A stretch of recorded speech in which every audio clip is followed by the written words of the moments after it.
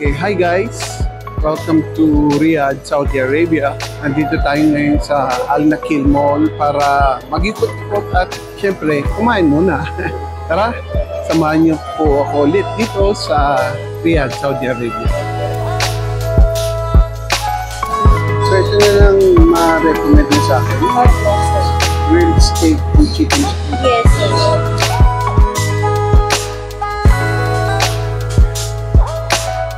Hi guys! Nandito kami ngayon ng aking mga friends sa Cabana Espiritu Amazonico. Kasama si Gia. Say hi ka naman Gia. Dito. At ang kanilang Instagram ay Cabanax ka? Ano? Cabanaksa. Hindi, Cabana KSA. Sana masarap din ang order kasing sarap sa Brazil. Namiss ko tuloy mag-Brazil ulit.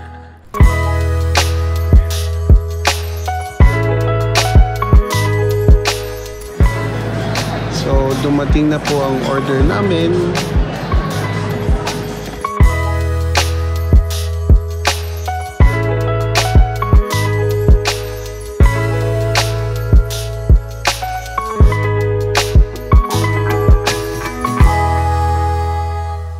Sarap siya guys.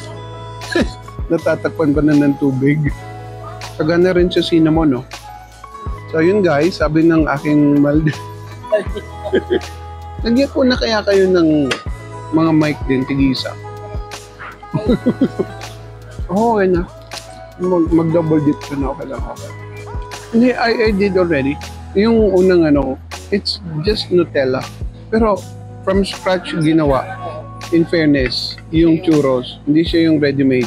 Kasi ma malalasan mo pa yung mga burnt and uncooked flour. Naging connoisseur. Pero mas gusto ko yung at, at as is lang. Kasi pampatamis lang naman si Nutella eh. So yun guys, nagka-dessert na kami. Thank you.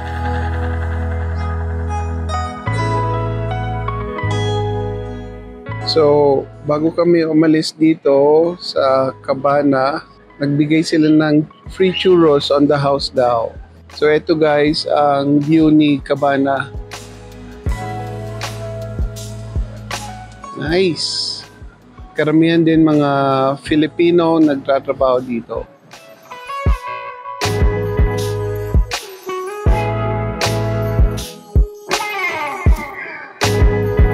So, ayun na nga, nakakain na tayo. So, gagawin natin, gikot-ikot na.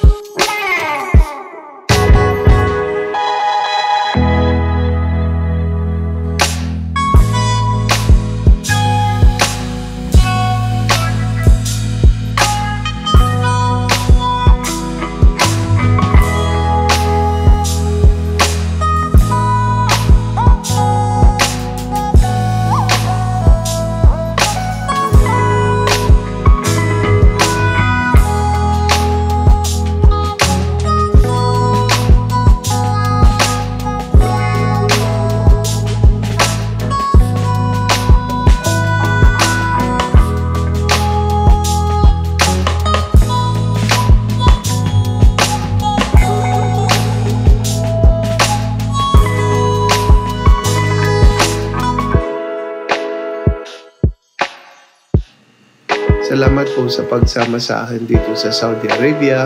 Ah, samahan niyo po ako sa next adventure ko ah. Maraming salamat.